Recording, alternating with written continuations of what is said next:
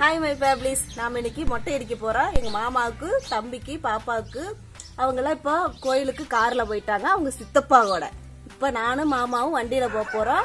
மீதி அங்க போய் நம்ம பார்க்கலாம். ஓகேவா அடிக்கிறதுக்காக இன்னைக்கு குலதெய்வம் கோயிலுக்கு வந்திருக்கிறோம். எனக்கு தம்பிக்கு பாப்பாவுக்கு மூணு பேர்த்துக்கு இன்னைக்கு மொட்டை போடுறதுக்கு எல்லாருமே ஃபேமிலியோட வந்திருக்கோம். ஏதோ பின்னாடி கோயில் இருக்கு. அதை அப்படியே சுத்தி காட்டுற.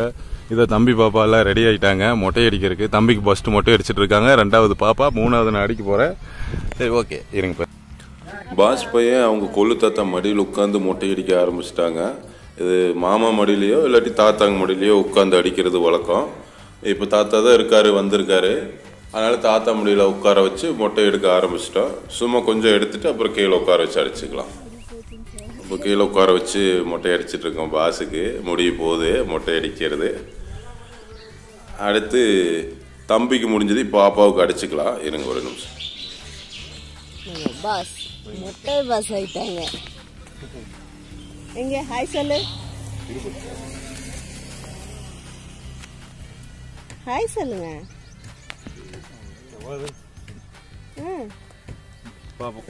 ஹாய் விட்டு சொல்லுடா. எப்பா? பாருங்க. மொட்டை அடிக்கணும் பாஸ் பையன் அடிச்சிருக்கான்ல. சாமிக்கு. போற கட்டி தானே எடுக்கிற முடிவு தானே எடுக்கிறேங்க சாமி. பாப்பா தான் மொட்டை அடிக்கிறது உட்கார மாட்டேன்ட்டு ஒரே ஓரியாட்டம் அழுகையா இருக்கு. அப்படியே ஏதோ ஒன்று சொல்லி அவரும் பேசிட்டு அடிச்சிட்டு இருக்காரு நாங்களும் சொல்லிட்டு இருக்கோம் போதும் அம்மா இருக்காங்க ஒரு துணி போட்டுக்கோங்க. துண்டு அது தெரியலடா அது வாங்கினப்ப செக் பண்ணி பார்த்தோட சரி. அப்ப அது யூஸ் பண்றது இல்ல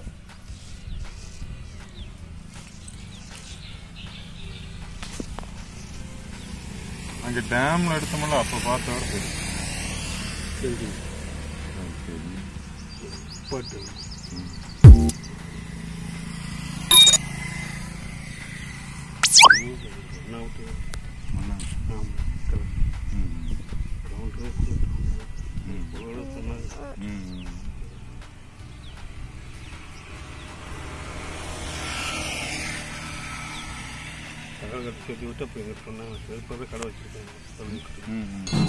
முட்டை அடிச்சாச்சு மூணு பேருமே. இப்ப எல்லாம் சாமி கும்பிட ஆரம்பிச்சிட்டோம். அப்படியே கோயிலை சுத்தி காமிச்சிட்டு ஒவ்வொருத்தரையும் அறிமுகப்படுத்துறேன். வாங்க உள்ள போலாம்.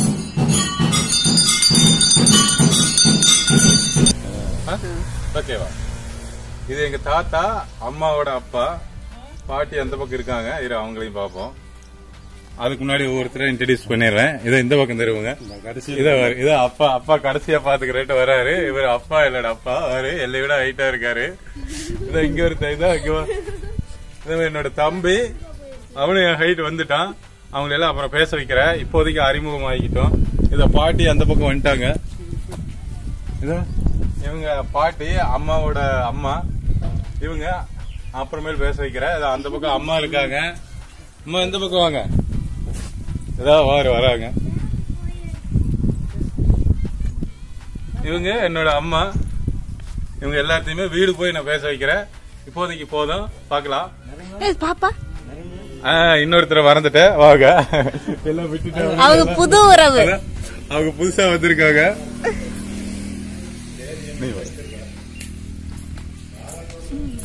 இவங்க தம்பியோட ஒய்ஃப் எல்லாருமே பேசுவாங்க வீடு போய் பேசுறோம். இத கேமரா ஒருத்தர் பிடிச்சிட்டு இருக்காங்க அவங்களையும் காட்டுறேன். இதை இவங்க தான் கேமரா பிடிச்சிட்டு இருக்காங்க. இவங்க ஆல்ரெடி அறிமுகமாயாச்சு நிறைய வீடியோ பார்த்துருப்பீங்க. இதை இங்க தவறா பாருங்க. இவனையும் நல்லா பார்த்திருப்பீங்க. இன்னொரு குட்டீஸ் இருக்கு. யாரு? அவங்க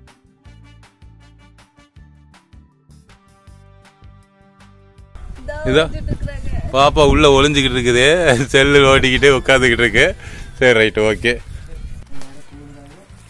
பொங்கல் வச்சிட்டு இருக்காங்க பாட்டி நல்லா பொங்கல் வரணும் அப்படின்ட்டு நல்லா சாமியை வேண்டிக்கிட்டு ப்ரே பண்ணிட்டு இருக்காங்க பக்கத்துமே பக்கமே இருந்து பார்த்துக்கிறாங்க அப்புறம் அம்மா வந்து அவங்களுக்கு தேவையானது எல்லாமே இந்த பொங்கல் பிரசாதங்களுக்கு இருக்கு தேவையானது எல்லாமே இந்த பக்கம் ரெடி பண்ணிட்டு இருக்காங்க கொஞ்சம் பஞ்சாமிரதம் கலக்குவாங்களாட்டிருக்கு அப்போ இந்த பொங்கலுக்கு தேவையான பருப்பு இது இந்த ஐட்டம்லாம் ரெடி பண்ணிட்டுருக்காங்க இதை கொஞ்சம் தூரத்துலேருந்து பார்த்தீங்கன்னா இதுதான் மாயவ பெருமாள் திருக்கோவில். அதாவது இந்த கோயில் வந்து பெருமாள் கோயில். பூஜை ஆரம்பிச்சிட்டாங்க. அப்படியே ஒவ்வொருத்தராக சாமி கும்பிட போகிறோம் ஒருத்தராக சாமி கும்பிட்டுருக்காங்க. இது முன்னாடி இருக்கிற சாமி வந்து கருப்புராய சாமி கோயிலுக்கு முன்னாடி கருப்புராய சாமி இருக்கு லெஃப்ட் சைடு இது எல்லாருமே கும்பிட்டு அந்த பக்கம் ஒரு சாமி இருக்கு. அந்த சாமிக்கு இவங்க போயிட்டு இருக்காங்க எல்லாருமே தான். எல்லாருமே லைனா அங்க ஒரு சாமி இருக்கு. எல்லாமே ஒவ்வொருத்தரா சாமி கும்பிட்டுருக்காங்க க- கன்னியத்த சுவாமின்னு நினைக்கிறேன் ஒரு அஞ்சாறு சிலைகள் வச்சிருக்காங்க. அந்த கன்னிமார்கள் இருக்காங்க. அதை ஒட்டி கருப்புன சாமி சிலை வச்சிருக்காங்க. எல்லாமே பெரியவங்க சொன்னது. நமக்கு அடையாளம் தெரியாது. சும்மா சிலைகள் மாதிரி இல்லாமல் உருவம் இல்லாத சிலையாக இருக்கு. அதனால என்ன சாமின்னு கரெக்டாக தெரியல.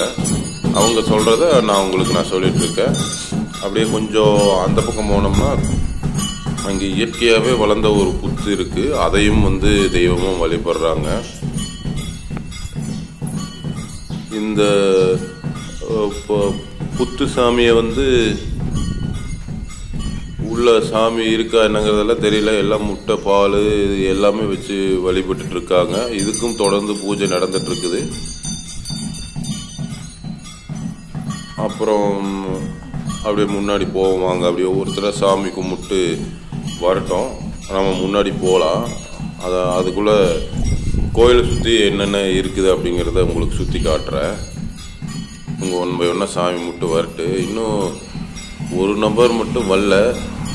இருங்க வந்துட்டாங்க. இப்போ அம்மா வந்துட்டாங்க. அம்மாவும் சாமி கும்பிட்டு அவங்களுக்கு என்ன தேவையோ அதை பயங்கரமாக தனியாக வந்து வேண்டிக்கிட்டு இருக்காங்க. அவங்க என்ன வேண்ட போகிறாங்க அவங்களுக்கு ரெண்டு பசங்க நல்லா இருக்கணும் அப்படின்னு வேண்டிக்குவாங்க. நல்லா விருது வேண்டிக்கிறாங்க. அடுத்து இவங்க வேண்டிக்கிட்டு வரட்டும் நாம் கோயிலை ஒரு சுற்றி சுற்றி பார்ப்போம். இது என்ட்ரன்ஸு நம்ம அப்படியே பின்னாடி ஒரு ரவுண்ட் அடிப்போம். பின்னாடியுமே சிலைகள் எல்லாம் நிறைய இருக்குது. அது என்னென்ன சிலைகள் அப்படின்ட்டு பார்க்கலாம். இவங்க எல்லாமே வெயிட் பண்ணிட்டு இருக்காங்க பெரிய பூஜை எல்லாமே பிரசாதம் வச்சு பெரிய பூஜை பண்றதுக்காக இவங்க பூஜை நடந்துட்டு இருக்கட்டும் நம்ம அப்படியே பேக்ல போவோம்.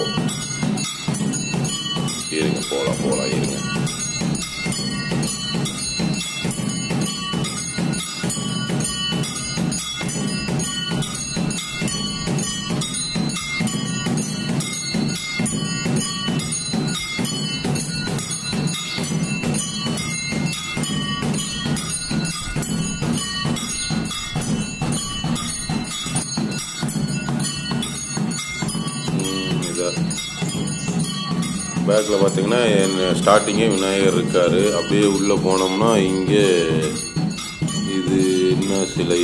இது சிலை இது பேர் ராகு கேது சிலைன்னு நினைக்கிறேன். இந்த பக்கம் அம்மா இந்த பக்கம் ஒரு சிலை இருக்குது. இது கன்னிமார் சிலை வருங்க அஞ்சு ஆறு சிலை இருக்குது. எல்லாமே உருவம் இல்லாமல் இருக்காங்க தெரியல. கோபுரம் பாருங்க. இங்கேருந்து தெரியலனாலும் பின்னாடி போய் காட்டுறேன். இருங்க அப்படியே போலாம்.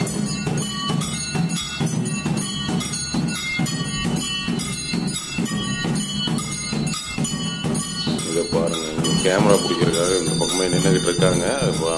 சுற்றி காமிச்சிட்டு வர் ஆயிரத்தி தொள்ளாயிரத்தி எழுவத்தொம்போதில் ஜீவ சமாதி அடைஞ்சிருக்காரு. இந்த கோயில் பூஜை பண்ணிட்டு இருந்தவர். அவருக்கு இங்கேயே சாமி ஆனதுனால அவங்களே ஒரு தெய்வமாக வழிபட்டு வரோம்.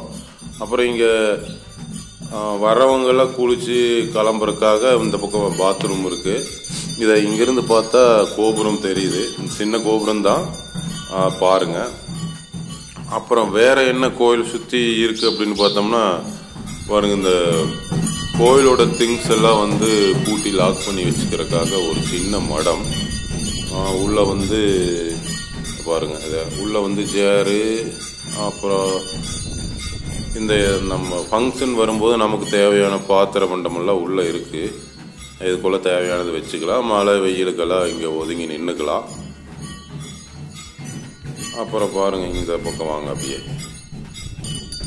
கோ கோயிலை சுற்றி இவ்வளோதான் இருக்குது பாருங்க இங்கேருந்து காட்டுறேன் பாருங்கள் ஏதோ முழு கோவில் இதுதான். மாயவ பெருமாள் கோவில். இது எங்களுடைய குலதெய்வ கோயில். இங்கே தான் எப்படி மாதம் ஒருக்கா வருஷம் ஒருக்காவது வந்துட்டு போவோம். கோயில் சின்ன கோயில் தான். பெரிய அளவில் கட்டணுங்கிற ஆசை இருக்குது பூஜை ஆரம்பிச்சாச்சு. இதை சேவண்டி அடிச்சிட்டு இருக்கேன்.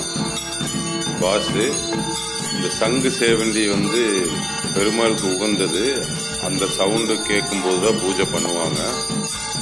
இதை பண்ணிட்டு இருக்காங்க அப்பா சங்கு ஊதிட்டு இருக்காரு இந்த சத்தம் வந்து சாமிக்கு உகந்தது அப்படிங்கிறதுனால சங்கு சேவண்டி அடிச்சு வழிபடுறாங்க. காலகாலமாக முன்னோர்கள் வழிபட்டு வந்தது. எதற்காக அப்படிங்கிற டீட்டெயில்ஸ் நம்ம தெரிஞ்சுக்கலாம். இதோ பெருமாள் ரெண்டு பக்கமே இன்னும் ரெண்டு சிலை இருக்குது ஏன் பயங்கரமா தட்டிட்டு இருக்கா பார்த்து சேவண்டி பாப்பா என்ன அமைதியா இருக்குது? எனக்கு வேணும்னு கேட்கும் சரி இருங்க நம்ம கேமராவை கொடுத்துட்டு நான் கேமராவுக்கு முன்னாடி வரேன் கேமரா அம்மனிகிட்ட கொடுத்துடலாம். கொடுத்துட்டு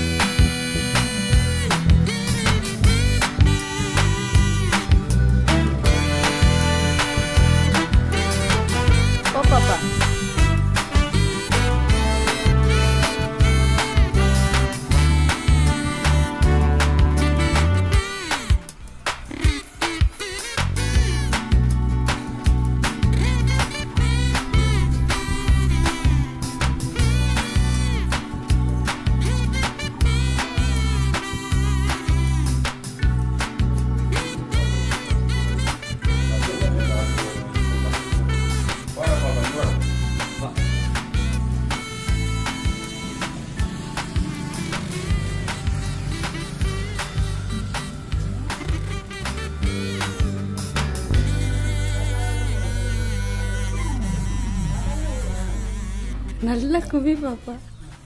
குவி வெட்டிக்குது பாருங்க. யார் வாங்க சொன்னா நீங்க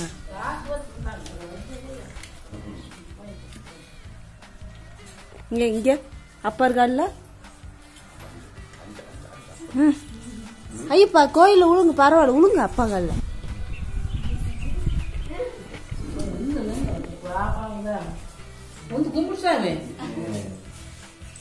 படிக்கணும் வாழ்த்து சொல்லு